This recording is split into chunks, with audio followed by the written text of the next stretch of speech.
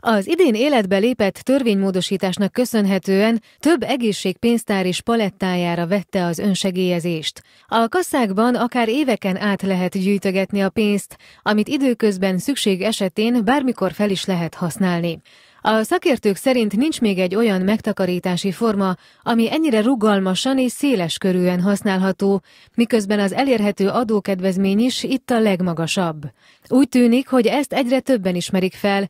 A Magyar Nemzeti Bank adatai szerint idén az első fél évben összesen 34 ezeren léptek be újonnan az egészségpénztárakba.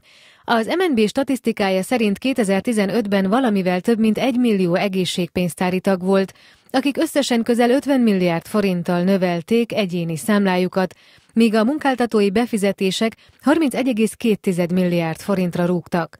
Az egészségpénztári kártyák használata térségünkben is egyre népszerűbb, közölte 35 perc című műsorunkban a megyei gyógyszerészi kamara elnöke.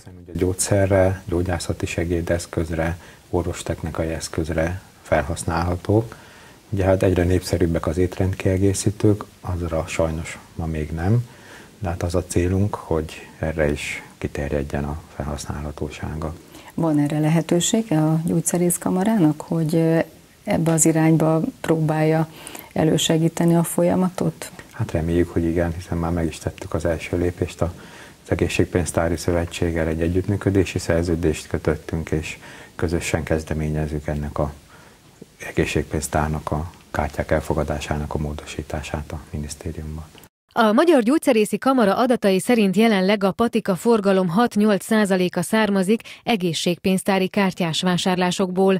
A kafetéria rendszer jövő évi változása jobb esetben 10 milliárdos, rosszabb esetben pedig 20 milliárdos kiesést hozhat a gyógyszertárakban.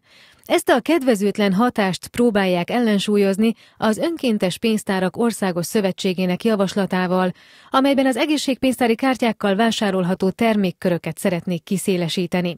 Ennek célja, hogy a garantált minőségű étrendkiegészítők bevonásával és a termék szerinti elszámolás helyett az egészségügyi szolgáltatóval történő elszámolásra váltással növelnék a gyógyszertári forgalmat.